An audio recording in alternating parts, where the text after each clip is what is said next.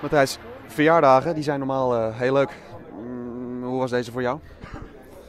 Ja, ik denk dat je het antwoord al kan raden. Niet leuk natuurlijk. Kijk, als je de eerste wedstrijd van het seizoen speelt en uh, je verliest 2-1, dan is dat een flinke domper. Hoe geven jullie uh, dit weg? Ja, kijk, we komen 1-0 voor. Ik denk dat we veel meer kans gehad hadden om te scoren. We komen uiteindelijk 1-0 voor, dat is goed. Maar ja, dan uh, lopen we allemaal uit positie. Het is allemaal niet georganiseerd. En, ja, dan counteren zij en dan scoren ze twee keer. Waar zit het hem in dat het dan zo misgaat? Want jullie wisselen uh, met name naar die 1-1 aanvallend. Op zoek natuurlijk naar de, naar de drie punten. Maar dan is het soms bijna open huis. Ja, nee, dat is een uh, strijpelen waar je voor kiest. En vandaag uh, pakt het verkeerd uit. En, nou ja, dat, misschien pakt de volgende keer beter uit, maar vandaag is het niet goed uitgepakt. Waar zit het hem in dat het dan niet lukt?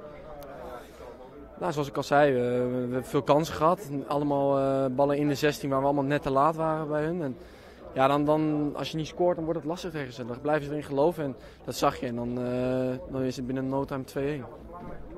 En waar zit dat hem dan bij jullie in, zeg maar, in die laatste fase? Nadat jullie zo aanvallend hebben gewisseld, is dat afstemming die ontbreekt? Waar, waar, waar zit dat hem in? Ah, afstemming die ontbreekt natuurlijk, het is vroeg in het seizoen, maar dan mag je niet als excuus gebruiken dat je hier uh, drie punten verspeelt. En nou ja, wij, wij moeten gewoon uh, de kop bij elkaar halen en ervoor zorgen dat de volgende wedstrijd er wel staan.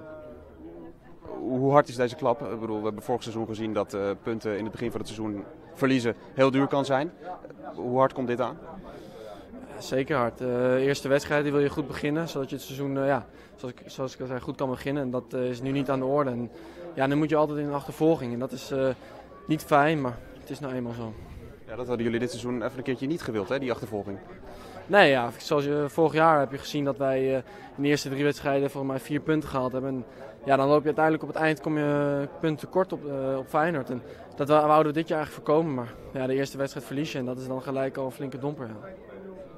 Er veranderde wel even iets achterin natuurlijk met uh, Davinson Sanchez die er niet was. Uh, nou, dat heeft ongetwijfeld gevolgen voor de verdediging natuurlijk. Jij speelt op een iets andere positie. Uh, hoe is dat dan voor jou ook achterin? Ja, ik doe gewoon mijn best altijd. of het nou met uh, Davinson is of met Nick.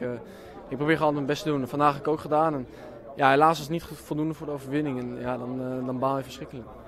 Maakt zoiets een groot verschil dat er dan op de dag van zo'n wedstrijd zoiets gebeurt, zeg maar, dat hij er dan niet bij is, dat het net even iets anders staat bij jullie? Nou, groot verschil, nee, dat denk ik niet. Natuurlijk, je hebt een, een, plan van tevoren en daar was Davinson ook deel van. En als hij dan ja, voor de wedstrijd dat je hoort dat hij wegvalt, dat is natuurlijk balen, maar je moet uiteindelijk toch de wedstrijd spelen. En dat, ja, dat hebben we geprobeerd te doen, maar het is niet het resultaat waar we op hoopten. En nu moet je door, want uh, er wachten uh, veel wedstrijden, veel belangrijke wedstrijden. Donderdag al natuurlijk. Hoe ga je nu uh, naar die wedstrijd? ja, hoe ga je naar de wedstrijd? We moeten die natuurlijk winnen. Het is thuis tegen Rozenborg. En ja, het is ons de kans voor ons om, volgend, om deze, dit jaar Europa League te spelen. En die moeten we met beide handen aangrijpen, denk ik. En daar is donderdag de eerste wedstrijd voor. Ja, en de kans om van een valse start toch nog een beetje een goede start te maken dus. Nou ja, deze, het is natuurlijk een valse start hoe je het went of verkeerd. Je bent uit de Champions League. Uh, je verliest de eerste competitiewedstrijd, dus uh, valse start kan je het zeker noemen. Maar ja, je zou het in, in principe donderdag een klein beetje goed maken, maar nog steeds uh, valse start.